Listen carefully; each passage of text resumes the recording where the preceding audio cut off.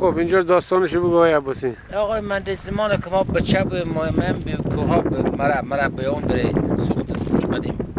اینجا یک چهار الان می‌تونی بری روش واسه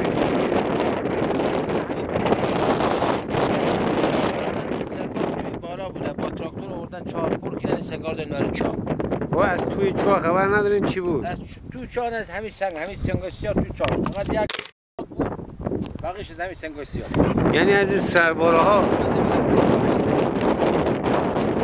اینا که نمی‌تونه تو چاه ریخته باشه نه چیز که. اینا با کلونگ میکندن کاتبی.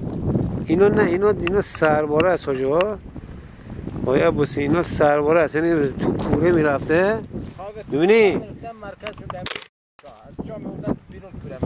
اینا رو تو کوره بردن زوب کردن.